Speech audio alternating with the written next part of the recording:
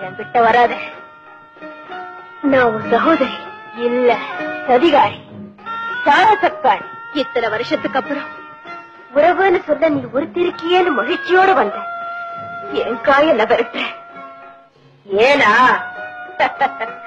என்ன புதத்த இடத்துல நீ ஆட்சி நடத்த போறியே? பாட்டை தழிச்சு பதவி ஏற போறியே? அதனால சொல்றேன். நெருங்காது